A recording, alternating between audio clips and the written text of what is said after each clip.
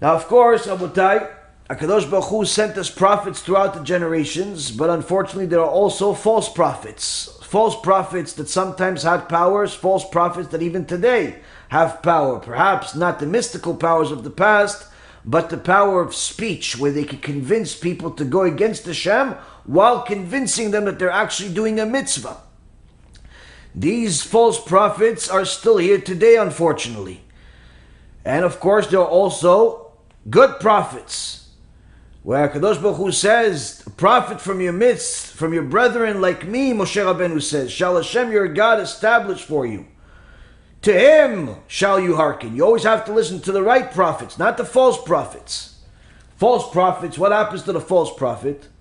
But the prophet who willfully speaks the word in my name, that which I not command him to speak, or who shall speak in the name of the gods of others, that prophet shall die. Again, same parasha, Kadosh Baruch Hu again tells us about how people get death penalty. 3,333 years of death penalties, but yet somehow people want to convince you that Hashem loves everybody and you shouldn't hate anyone. I'm not really understanding how somebody can claim to read the Torah and actually say such a stupid statement. 3,000 years of death penalties in the Torah instituted, commanded by us. And yet people say you should love everybody even if they hate God. You should love the reformers even though they're destroying the Torah and Am Yisrael already for a few hundred years. You should love them. Why should I love them? Oh, they're Jews. What makes them Jewish?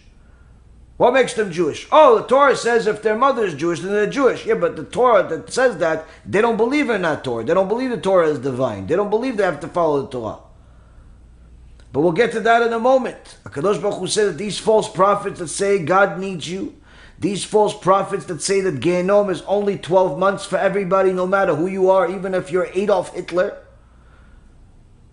if you're Mechalel Shabbat, if you waste seed, if you uh, committed adultery, if you uh, made all types of crimes, no matter what, maximum punishment is 12, 12 months. The Ramban, the Ramban, one of the Gdolei Olam, one of the greatest sages that ever walked on the face of the earth, says in the uh, Sefer uh, that the uh, uh, uh um, person that says that Gehenom is limited to 12 months is 100% an apikolos and has no share of the God of Israel. You can't count them in minyan. You cannot count such a person in the minyan that says that you have Gehenom is maximum 12 months. But can I learn Torah from him, Rabbi, even though he says that there's only 12 months Gehenom? I don't know. Ask the Ramban. Ramban knows better than me. I'm just learning. Ramban says you can't learn from him. In fact, Ramban says you can't even count them in minyan. So you're still asking the same question of whether you should learn from him?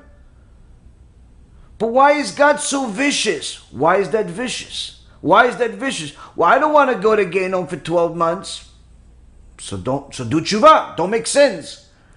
Why does it have to be more than 12 months? The Ramban writes the Ramban writes, Rabotai Karim, and this is actually one of the places that's actually translated to English for anybody that uh, wants to uh, wants to read it. It's called Shaar HaGemul. It's the, the writings of the Ramban, Nachmanides.